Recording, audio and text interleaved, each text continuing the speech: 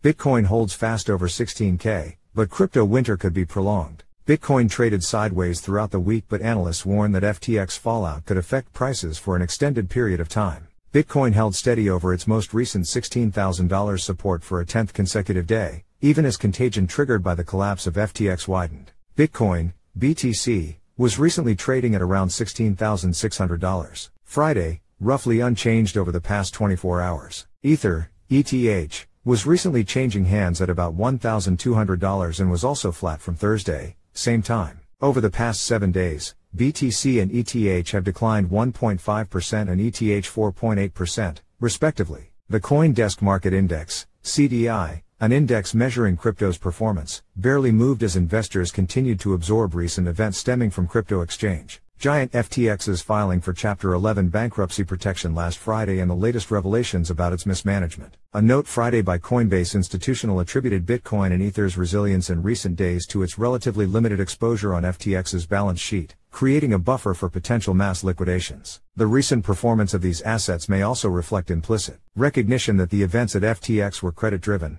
not crypto driven in nature. Coinbase head of institutional research David Duong and research analyst Brian Cubellis wrote in the note. However, other crypto observers maintain that the continued domino effect following FTX's fallout is still difficult to gauge. The crypto market capitalization has fallen to under $800 billion, its lowest level since early 2021.